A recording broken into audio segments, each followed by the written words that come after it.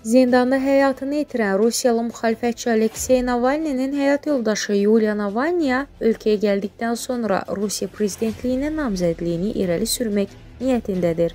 Bu barədə o BBC müsahibəsində bəyan edib. Navalniya bildirib ki, mənim məqsədim ölkədə dəyişiklikləri yaxınlaşdırmaq və mümkün etməkdir. Əgər Rusiyaya qayıtsam, prezidentliyə namizəd kimi seçkiyə gedəcəyəm. Həmçinin o belə bir qərarın bütün risklərini dərk etdiyini və ölkəyə gəldikdən sonra həbs olunma təhlükəsi ilə üzləşəcəyini dərk etdiyini də deyib. Xatırladaq ki, Moskvanın Basman rayon məhkəməsi Yuliya Navalnyanı qiyabi həbs edib. O ekstremist cəmiyyətdə iştirakı ilə bağlı cinayət işində təqsirləndirilir.